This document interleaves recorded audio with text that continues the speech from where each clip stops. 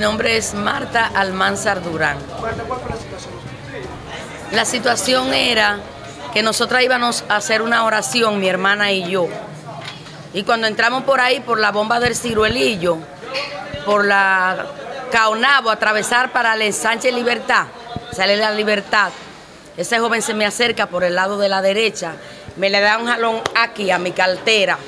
A según me jaló, eh, yo perdí el equilibrio con la pasola y me volteé así de lado. Entonces cuando me volteé así de lado, él siguió conmigo arrastro, arrastro, arrastro, arrastro a más de media esquina. Y cuando llegamos ya donde íbamos a llegar con tu pasola en el suelo, entonces él se paró primero que yo, vino, se acercó y me sacó la cartera de mi cuello y mi mano me la despegó de la pasola y me sacó la cartera.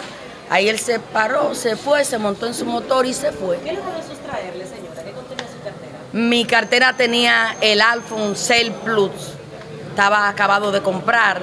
Tenía mi lente recestado, que di 3 mil pesos por ello. Cargaba una toallita bordada dentro. Y el dinerito, una parte se quedó en la cartera y el otro salió rodando, según la ratra fue tan grande. ¿Usted presentó?